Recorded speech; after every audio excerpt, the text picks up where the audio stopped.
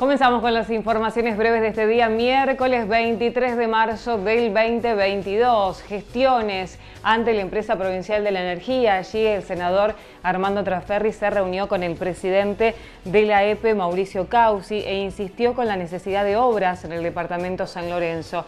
El legislador del nuevo espacio santafesino le planteó a Causi avanzar en el anillo circunvalar de Ricardone y mejoras en la línea de media tensión que llega a Luis Palacios y a Roldán. La reunión tuvo como finalidad conocer en detalle el plan de obras de la EPE y el Fondo de Electricidad Rural.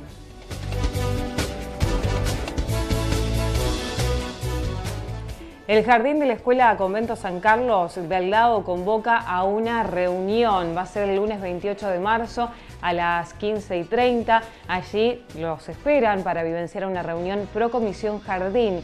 La idea es sumar voluntades generosas para trabajar, para mejorar el jardín y preescolar de la mano de la Asociación Cooperadora y el personal de la escuela.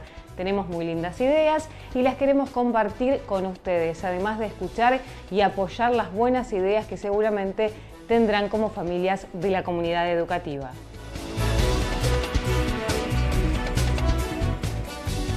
Y se realizó el encuentro del Foro Nacional de Intendentes Radicales. Fue en el día de ayer que el presidente comunal de la localidad de San Jerónimo Sur, Horacio Ciancio, participó en su carácter de presidente del Foro de Intendentes y Presidentes de Comunas Radicales de la provincia. El encuentro tuvo como objetivo principal compartir problemáticas comunes de gestión, intercambiar ideas y consensuar agendas de trabajo. Horacio Ciancio fue elegido como vicepresidente del Foro Nacional.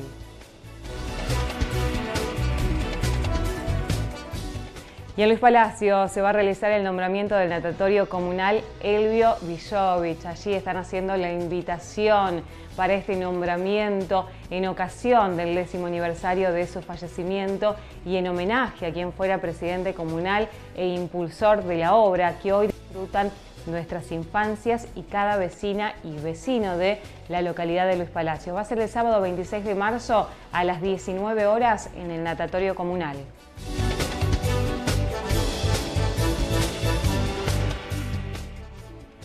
Dos albañiles recibieron una descarga eléctrica y están hospitalizados. Esto sucedió en la localidad de Andino.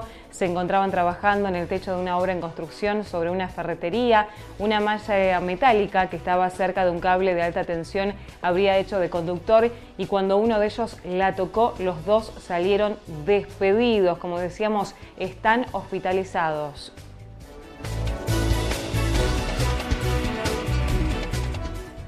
Incendio de un auto en la Ruta Nacional 34. Un hombre de 26 años con domicilio en la localidad de Ibarlucea circulaba por la ruta número 34 en su vehículo un Renault 19 de este a oeste y a la altura del kilómetro 32 por problemas mecánicos y sin intervención de terceros notó que salía fuego de su vehículo por lo que descendió y llamó a la policía. Allí intervino personal de bomberos voluntarios de Salto Grande.